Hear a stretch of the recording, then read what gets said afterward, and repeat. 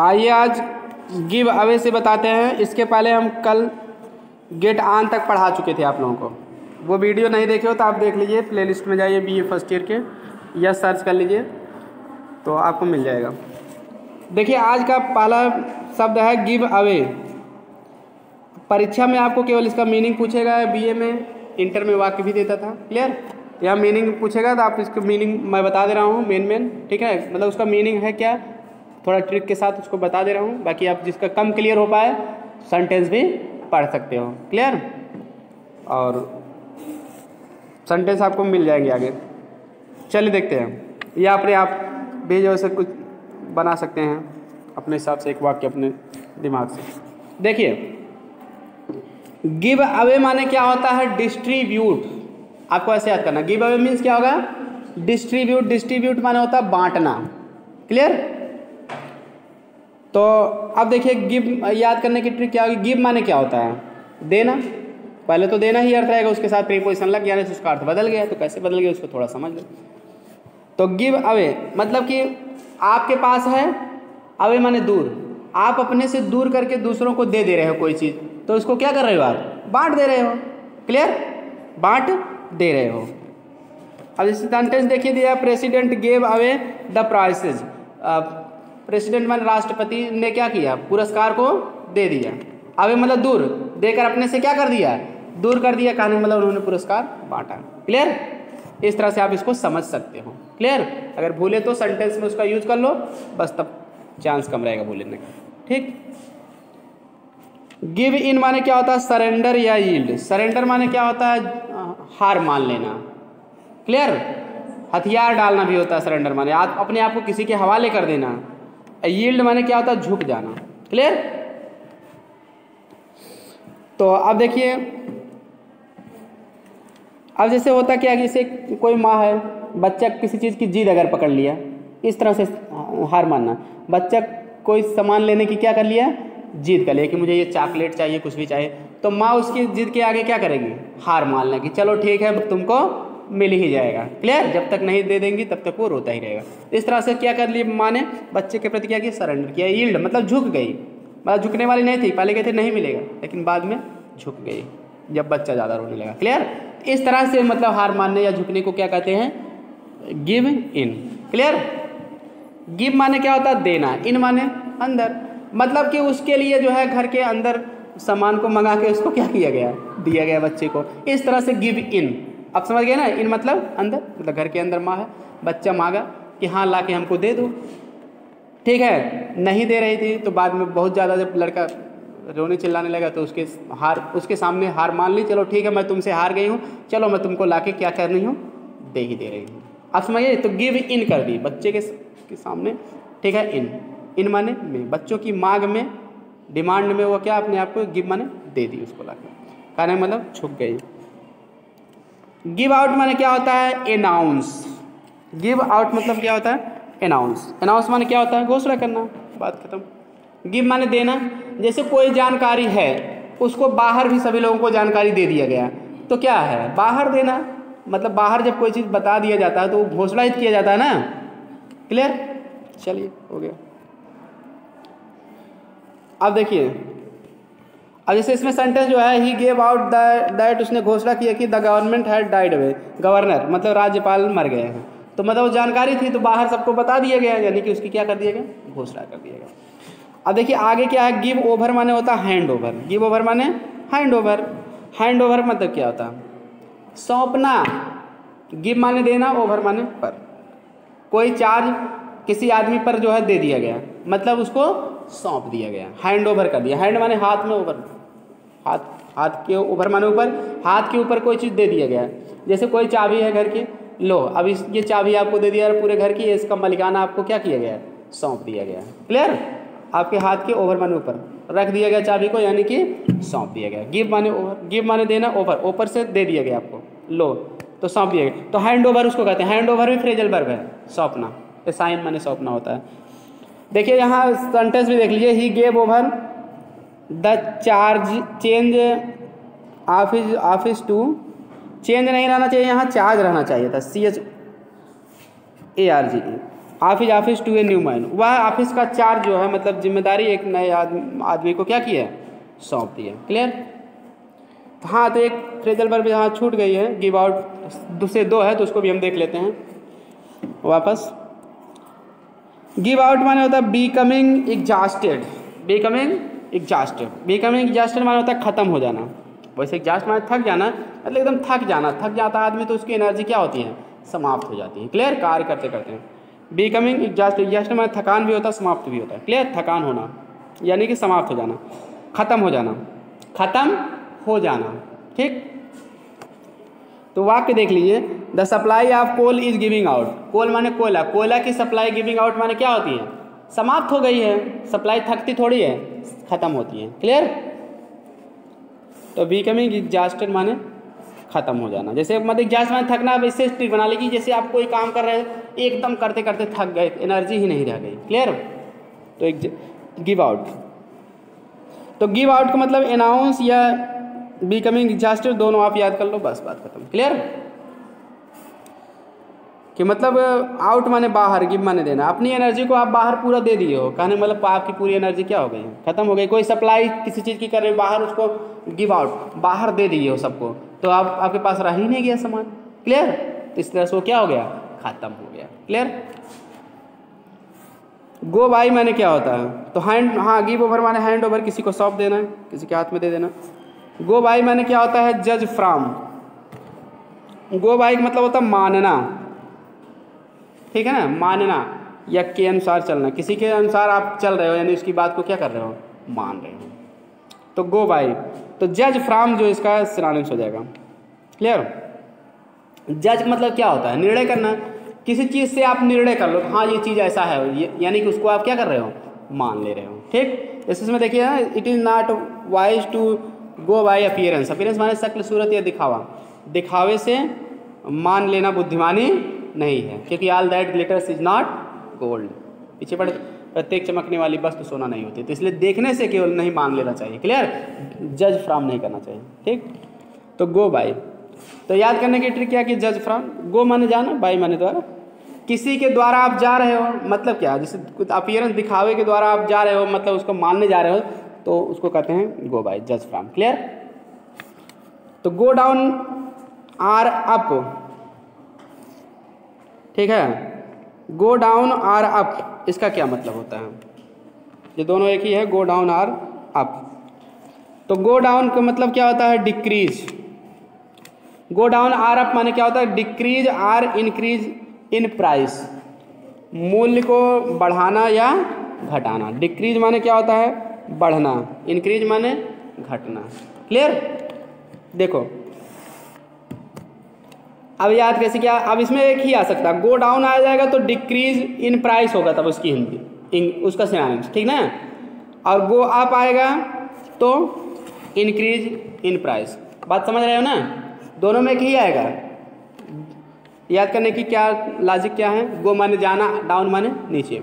अगर किसी चीज़ का दाम जो है नीचे जा रहा है तो जान लीजिए डिक्रीज हो रहा है घट रहा है जैसे पेट, पेट्रोल का दाम डिक्रीज हुआ था अब तक तो घटा था। अब इस समय क्या है? अप अप माने ऊपर जा रहा है। मतलब जैसे चौहत्तर रुपये से पचहत्तर रुपये अस्सी रुपये नब्बे, इक्यानवे रुपये तक चला गया है। क्लियर तो ऊपर गया है ना संख्या? ऊपर भाग रही है तो मतलब बढ़ गया है। क्लियर तो इस तरह से गो डाउन आर अप माने decrease or increase in price मूल्य में घटोत्तरी या बढ़ोत्तरी। डिक्रीज माने घटोत्तरी यानी घटना इंक्रीज माने बढ़ोतरी समझ गए ना? ऐसे कनेक्ट करके इसको समझो क्यों इसका मेन अर्थ ये होता है। नहीं तो आप समझ नहीं पाओगे, बहुत ज़्यादा भूलता है, ठीक? चलिए आगे। गो फार माने क्या होता है?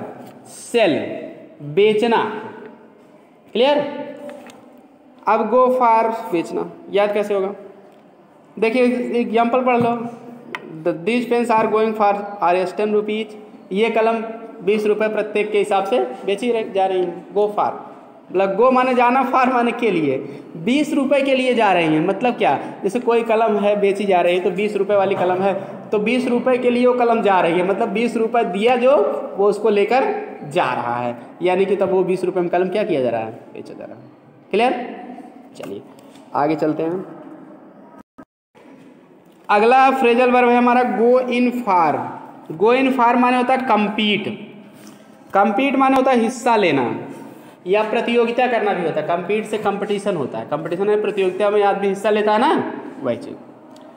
तो प्रतियोगिता करना या हिस्सा लेना। कम्पीट बनाना। अब इसमें क्या है कि जैसे एग्ज़ाम्पल देख सकते हो, मिस्टर कालिदास कालिदास ने वेंट इन फार गो का सेकंड फॉर्म क्या वेंट टेंस के हिसाब से चाहे जो फार्म आ सकता है।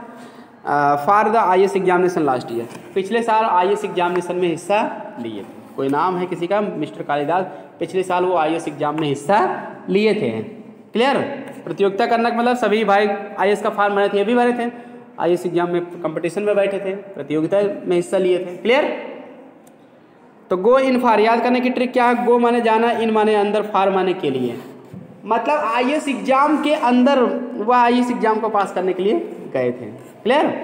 उस एग्ज़ाम के लिए इन माने में गो मिस जाम एग्ज़ाम के लिए जो है उसमें वो गए थे मतलब उस हिस्सा लेने गए थे कंपटीशन में गए थे। अब समझ गए ना? बस।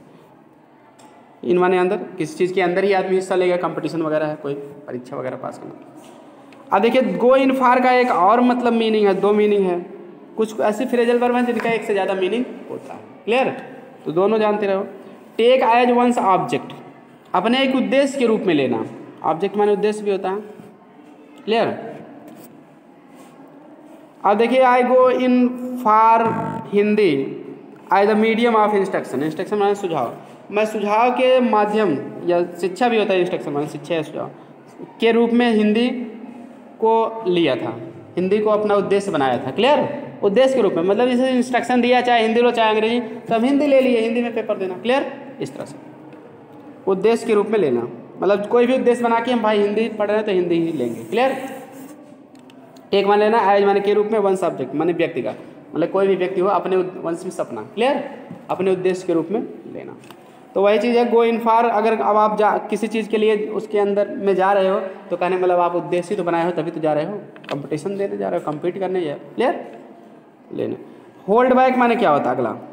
कीप सेक्रेट होल्ड बैक माने होता है गुप्त रखना। सेक्रेट माने रहस्य कीप माने रखना। रहस्य या गुप्त हाँ? सेक्रेट बात है, गुप्त बात है। रहस्य रखना या गुप्त रखना क्लियर या रोकना?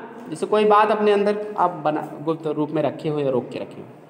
गुप्त रखना या रोकना, उसको कहते हैं होल्ड बैक अब देखिए, याद करने की ट्रिक क्या है कि इसमें होल्ड माने क्या होता है? पकड़ना बैक माने पीछे।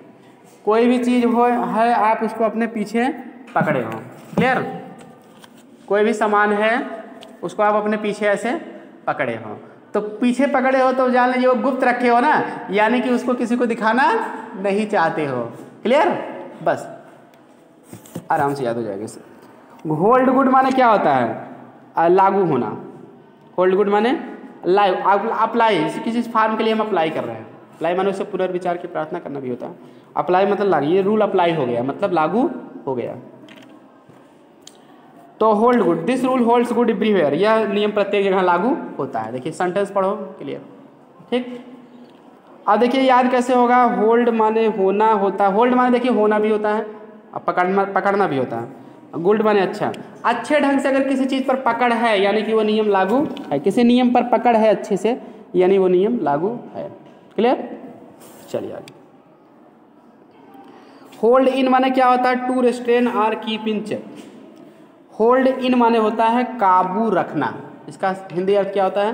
काबू रखना। जानते रहो वैसे हिंदी आपके पेपर में नहीं आएगा लिखने के लिए। क्लियर अपने जानकारी के लिए। होल्ड इन माने होता है काबू रखना। मतलब क्या होता है? रेस्ट्रेन रेस्ट्रेन माने क्या होता है? किसी को नियंत्रण में रखना यानी उस पर अपना काबू रखना। रेस्ट्रेन माने नियंत्रण भी होता है। नियंत्रण में रखना किसी को यानी कि अपने काबू में उसको रखना। कीप इन चेक चेक माने क्या होता है, है रोक किसी को रोक रोक रोक, रोकने में रखना मतलब रोक के रखना कीप इन चेक कहने मतलब उस पर काबू रखना। तो to restrain or keep in check माने काबू रखना या नियंत्रण में रखना, रोक के रखना। क्लियर ये सब इसका मीनिंग है। चलिए आगे। होल्ड ओवर होल्ड ओवर माने क्या होता है? पोस्टपोन क्लियर याद कैसे होगा पोस्टपोन पोस्टपोन का मतलब क्या होता है? आज का काम कल को टालना। तो उसको कहते हैं पोस्टपोन अब होल्ड ओवर याद कैसे होगा? देखिए, टालना। अब जैसे होल्ड माने क्या होता है? पकड़ना। ठीक? ओवर माने ऊपर। ठीक? जैसे मान लीजिए याद याद करने की इसकी ट्रिक क्या होगी? जैसे मान लीजिए किसी बच्चे का बर्थडे है केक काटना है, आप चाकू को ले लिए, आप चाकू को ऐसे ऊपर होल्ड यानी पकड़ना। ऊपर पकड़े हुए ऐसे। लड़का का रात दे दो, मैं चेक, केक को काट दूँ, लेट हो रहा है। आप पकड़े हो, यानी आप क्या कर रहे हो? पोस्टपोन यानी उसको टाल रहे हो। समय को क्या कर रहे हो आप? टाल रहे हो, देर कर रहे हो। आप समझ गए ना? इस तरह से आराम से। ऊपर से ही आप केवल पकड़े हो, दे नहीं रहे हो किसी को। ठीक है? तो कहने का मतलब आप बच्चे को दे नहीं रहे हो। ऊपर से चाक, चाकू को पकड़े हो। जब वो लेगा तो काटेगा। तो यानी कि आप टाल रहे हो। वो समय काटने का काम क्या कर रहे हो? टाल रहे हो, देर कर रहे हो। ठीक है? अगला। होल्ड वंस ओन माने नॉट गिव होल्ड मतलब वंस ओन मतलब क्या? नॉट गिव नॉट गिव माने रास्ता ना देना। होल्ड वंस ओन ठीक है? अपने हिसाब से ही होल्ड माने पकड़ अपने हिसाब से वन होल्ड माने पकड़े हो किसी को यानी उसको रास्ता नहीं दे रहे हो। कोई जाना चाहता है आप रास्ते में उसको पकड़े हो अपने हिसाब से उसको पकड़े हो। रास्ता नहीं दे रहे हो पीछे भी इसका इससे रिलेटेड एक आपको आ, आता मतलब एक आया था। क्लियर रास्ता ना देना नॉट गिव अवे क्लियर तो उसमें भी आपको ऐसे ट्रिक हम बताए थे। ठीक? बियर अप था। क्लियर मतलब सहन कर रहे थे ऊपर से ही। जो भी प्रहार पड़ रहा था, लेकिन रास्ता नहीं दे रहे थे। चलिए आगे। कीप अवे माने क्या होता है? रिमेन एबसेंट अनुपस्थित रहना। तो याद कैसे होगा? कीप माने रखना अवे माने दूर। आप अपने आप को दूर ही रखे हो, यानी अनुपस्थित हो। जैसे स्कूल में आना है आपको डेली कॉलेज में आना है। आप कॉलेज में नहीं, आने से अपने आप को कीप अवे दूर रखे हो। कॉलेज से अपने आप को कहाँ रखे हो? दूर रखे हो, यानी आप यहाँ क्या हो? उपस्थित हो। क्लियर याद हो गया? आगे। कीप बैक माने क्या होता है? कांसिल कांसिल माने क्या होता है? छिपाना। बस इसमें भी वाइट ट्रिक अपना लो। कीप माने रखना बैक माने पीछे। जैसे होल्ड बैक नहीं था? कीप बैक दोनों एक ही चीज़ें। आप जैसे पीछे रखे हो, कोई चीज़ अपने पीछे रखे हो, आगे नहीं रखे हो तो यानी उसको क्या किए हो? छिपा लिए हो कुछ लोग ऐसे सामान वामान रहता है, कोई आता है तो उसको पीछे रख लेते हैं। सोचते हैं कहीं देख ना पाए। क्लियर तो कीप बैक कांसिल इसका एक सिनानिम से हाइड हाइड माने भी छिपाना होता है एच आई डी क्लियर उतना समझ लेना। हाइड आई या कांसिल अगला है कीप फ्राम कीप फ्राम माने क्या होता है?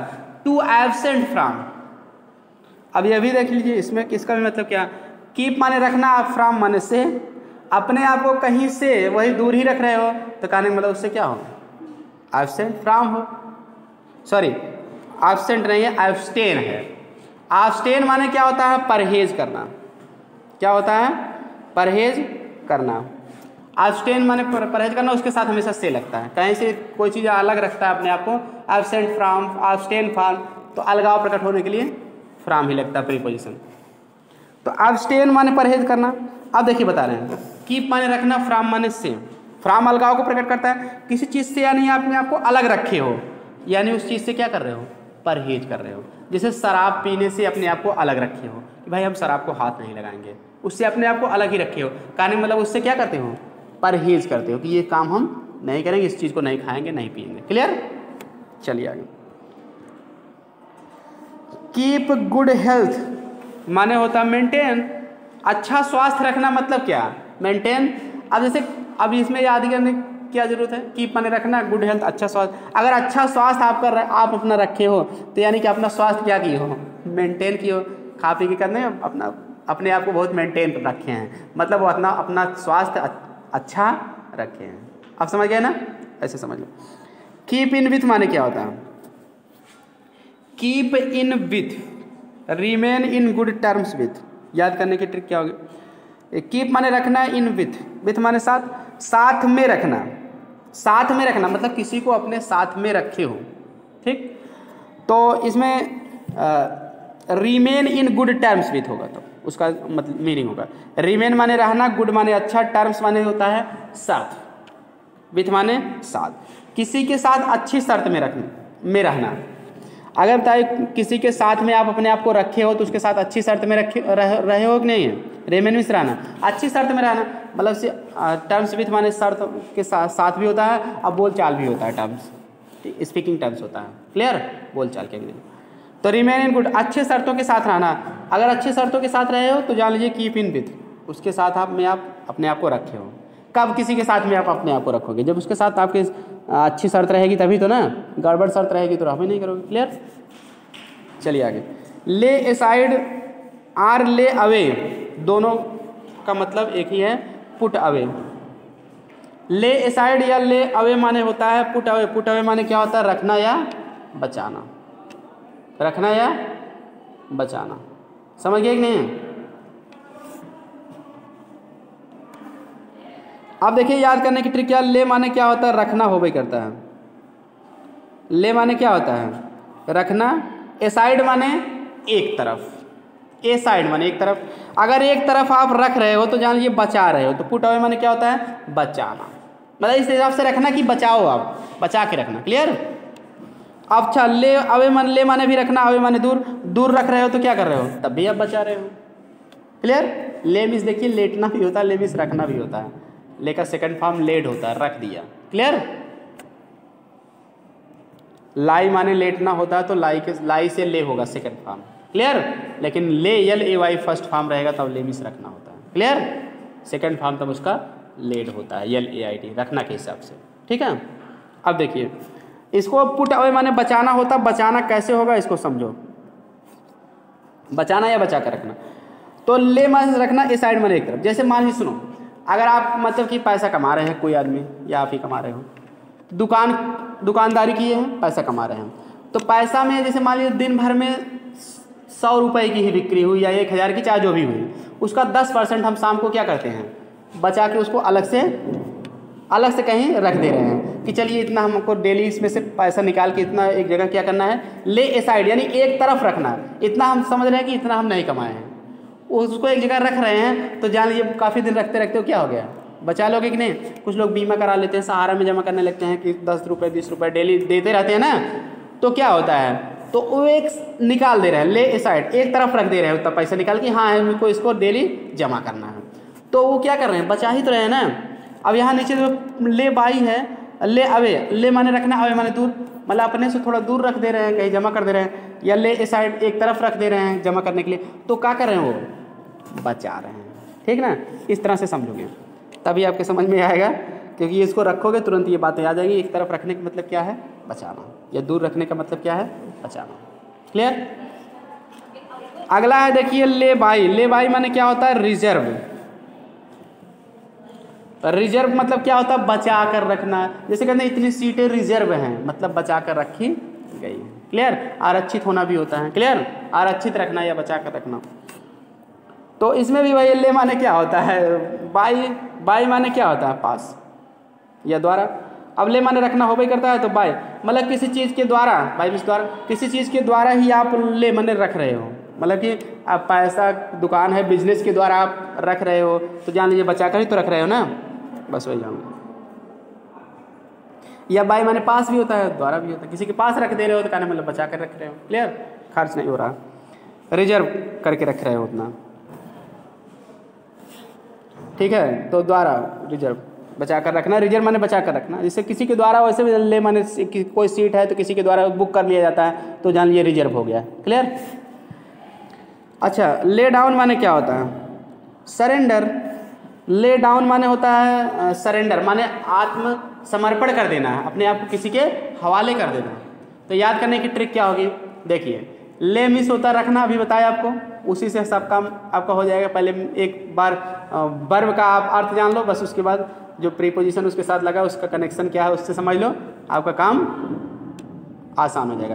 ले मिस रखना डाउन माने, नीचे।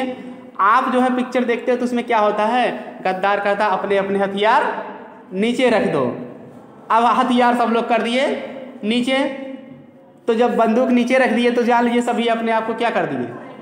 हवाले कर दिए सरेंडर कर दिए। आप समझ गए नहीं? जब पुलिस आता है तो वो कहता है कि अपने अपने हथियार नीचे कर दो नहीं तो मार देंगे तो सब नीचे कर दिए। तो यानी उसके सामने क्या करते हैं? सरेंडर कर दिए। आराम से याद हो गया ना? ले डाउन नीचे रखना। क्या रखे नीचे? हथियार को नीचे रखे, रखा कोई आदमी किसी के कहने पर तो जान लीजिए वो उसको, उसके सामने अपने आप को क्या किया? सरेंडर कर दिया। हवाले कर दिया चलिए आगे। ले डाउन माने देखिए एक और अर्थ होता है इसका। प्रिस्क्राइब निर्धारित करना। क्लियर अब देखिए इसमें क्या है ले मिस रखना डाउन मिस नीचे। और जैसे एग्ज़ाम्पल देख लीजिए एन टी अब इसके पहले वाले में देखिए रिबल्स माने विद्रोही lay down the their arms arms माने हथियार। विद्रोही अपने हथियार को क्या किया? नीचे रख दिया था तो तभी तो सरेंडर किया, यानी कि सरेंडर कर दिया था। विद्रोही अपने हथियार को ठीक है, नीचे रख दिया, अर्थात वो सरेंडर कर दिया। क्लियर अब देखिए, यहाँ एन टी है lay down a detail syllabus N ने एन टी ने क्लियर ये शिक्षा की एक संस्था है। Clear N C E R T ठीक है? तो उसने क्या किया? डिटेल सिलेबस को क्या किया है? आ, निर्धारित कर दिया। प्रिस्क्राइब माने क्या होता? है निर्धारित करना। अब देखिए बात यह है कि ले मिस रखना डाउन मन नीचे। मतलब कि एन संस्था ने क्या किया? एक सिलेबस बनाया। उस सिलेबस को बनाकर फिर नीचे रख दिया टेबल पर या मतलब कि अपने संस्था में ऑफ़िस में रख दिया। तो जान लिए उसको बनाएगा कंप्यूटर से बनाएगा या हाथ से लिखेगा कुछ भी बना के रख दिया। ऑफ़िस में क्या किया? रख दिया कहीं भी रखा जाएगा तो, तो जहाँ रखना चाहिए दस्तावेज़ में वहाँ पर रख दिया गया। तो बनाए के बाद ऊपर थोड़ी रखेगा नीचे ही रखेगा। सबके सामने हो गया किताब है तो आप उसको अपने से थोड़ा नीचे ही रखते हो। क्लियर? तो जान लीजिए वो निर्धारित हो गया समझ गए कि नहीं? ले डाउन माने सेक्रीफाइस भी होता है। देखिए एक और अर्थ होता है। इसमें भी वही ट्रिक लगाओ। सेक्रीफाइस माने क्या होता है? बलि चढ़ा देना। ठीक है? त्याग करना भी होता है। क्लियर अब देखिए क्या, बलि चढ़ाना। तो इसमें याद करने की क्या ले मिस रखना डाउन मन नीचे। अपने आप, अपने सिर को जो है बलि पर नीचे रख दो। सिर को झुका दिए नीचे कि चलो, मेरी बलि क्या करो? चढ़ा दो। ठीक है ना? तो बलि चढ़ा देना ना? बस हो गया। अपना सिर कटवा देना मतलब बलि चढ़ा देना, मातृभूमि के लिए। चलिए आगे। लुक आफ्टर माने क्या होता? है टेक केयर ऑफ़ देखभाल करना। ध्यान ये देना कि लुक आफ्टर के साथ जो है प्रीपोजिशन ऑफ़ नहीं लगता है टेक केयर के साथ प्रीपोजिशन ऑफ़ लगता है। क्लियर तो लुक आफ्टर लुक माने देखना आफ्टर माने बाद। में किसी के बाद में आप देख रहे हो किसी को, यानी कि जैसे कोई माँ है बच्चे को मतलब किसी काम से जा रहे हैं पानी लेने जा रहे हैं किसी तो किसी से कहती देखिए बच्चे को तब तक देखे रहो, जब मैं, तब तक मैं आ ना जाऊँ। तो आप उसके जाने के बाद देख रहे हो। देख लुक तो कर रहे हो, लेकिन आफ्टर मतलब उसके जाने के बाद। जब तक नहीं है तब तक आप देख रहे हो। कहने का मतलब उसकी देखभाल कर रहे हो बाद में देखने का मतलब देखभाल करना। बात समझ में आ गया टेक केयर आप अगला है look down upon look down upon माने क्या होता है? घृणा करना, नफरत करना। डिस्पाइज माने क्या होता है? घृणा करना। क्लियर इंटर में पढ़े थे ट्रू ब्यूटी में I despise lovely cheeks eyes clear ये सब ना वेयर दीज आर नॉट जहाँ पर आत्मिक सौंदर्य नहीं लेकर उससे क्या करता था? डिस्पाइज करता था, घृणा करता था। क्लियर डिस्पाइज माने हेट हेट भी इसका इस्तेमाल चल सकते हैं। सो कॉन्टेम्प्ट कॉन्टेम्प्ट माने क्या था? घृणा करना। जब आपको पढ़ाया गया था इनडायरेक्ट तो उसमें बताया गया था इस क्लेम विथ कॉन्टेम्प्ट कर सकते थे। अगर एफ़ आई ई आ जाएगा फाइव तो उसमें क्या करोगे आप? He is claim with contempt contempt माने भी घृणा। क्लियर तो डिस्पाइज या सो कॉन्टेम्प्ट माने घृणा दिखाना। तो लुक डाउन अपान याद करने की ट्रिक क्या होगी? देखो सुनो। लुक माने देखना। डाउन माने, नीचे अपान माने, ऊपर। मतलब आप तो किसी से ऊपर हो पद या पोजीशन में ऊपर हो और दूसरे को डाउन मतलब डाउन देख रहे हो मतलब नीची निगाह से देख रहे हो डाउन में नीचे मतलब दूसरे को आप अपने आप को ऊपर समझ के दूसरे को नीची निगाह से देख रहे हो यानी आप उससे क्या कर रहे हो घृणा कर रहे हो उसको वैल्यू ही नहीं दे रहे हो उसको निम्न दृष्टि से देख रहे हो क्लियर तो डाउन क्या है निगेटिव वर्ड है क्लियर डाउन देख रहे हो मतलब उससे घृणा देख रहे हो अपने आप को ऊपर अपान ऊपर हो और उसको नीचे निगाह से देख रहे हो यानी कि उससे क्या कर रहे हो घृणा कर रहे हो, नफरत कर रहे हो। तो चलिए फिर आज की वीडियो में इतना ही। वीडियो पसंद आए तो लाइक सब्सक्राइब और शेयर करें, क्योंकि आपको ऐसे ट्रिक के साथ सभी फ्रेजल वर्ब याद करा दिया जाएगा, क्योंकि याद करना है बहुत कठिन काम होता है ये बच्चों के लिए। तो इसलिए पूरा प्रयास किया गया आपको याद करने का। हाँ अपने भी सुझाव आप दे सकते हैं, अगर आपको कोई फ्रेजल वर्ब याद करने की बेस्ट ट्रिक है तो यू कैन टेल ठीक है? That will also be apply in next session thanks for watching मिलते हैं नेक्स्ट वीडियो में।